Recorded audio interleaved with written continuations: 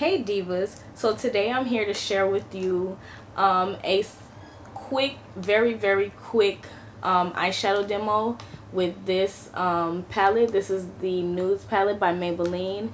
Um, it's a very quick demo. It is not a tutorial and I'm also going to give you my first impression at the end of the video. So yeah, if you are interested, then okay, divas. stay tuned. So first I'm going to go ahead and start off by applying um, the LA Girl Pro Primer and this one is in nude. So I'm just going to go ahead and apply that to my eyes and this is going to serve as our eyeshadow um, primer and base.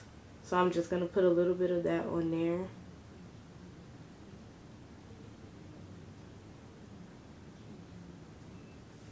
And then I'm going to blend it out with my finger.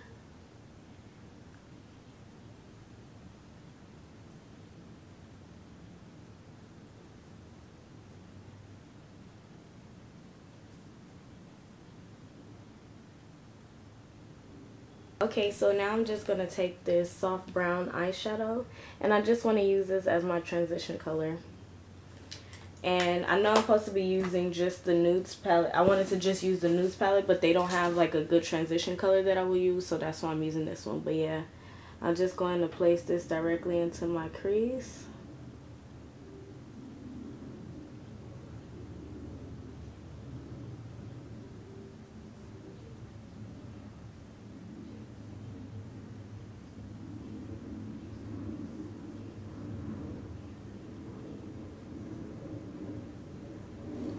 Okay, so now I'm going to move on to the uh, Maybelline the Nudes palette. So first we're going to start off by applying this frosty white color here. And we're going to take that and use it as a brow bone highlight. So I'm just applying that right on my brow bone. And I'm just patting that on.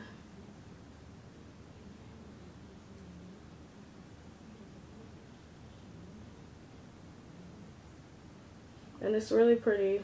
I thought it was going to be chalky looking, but it's really pretty. Okay, so next I'm going to take this top looking shade right here.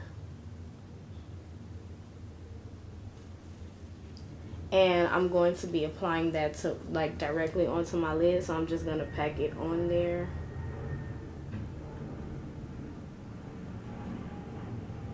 This is a really pretty like it has a little bit of shimmer not a lot which I really like because I love matte eyeshadows but doesn't have a lot of shimmer and it's really pretty. So yeah I'm just taking that and packing it on.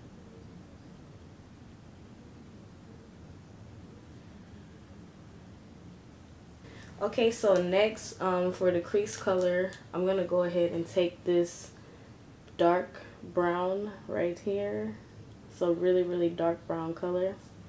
And I'm going to place that on my outer V.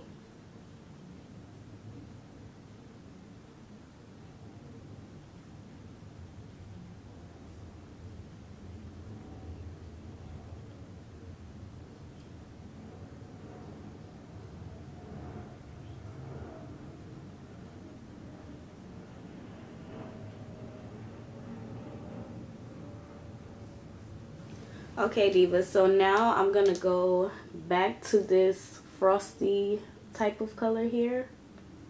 And I'm going to apply that, the same one that I used for my brow bone highlight. I'm just going to apply that to my inner, um, my tear ducts area for a highlight.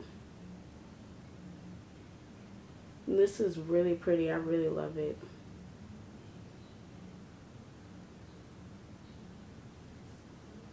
Okay, so I'm going to go ahead and apply the rest of the makeup on my face. And then I'm going to come back to you guys with my first impressions. Okay, Divas. So now I'm going to share with you guys my impression oh, oh, excuse me, on this palette. So if you're interested, oh, here is the palette.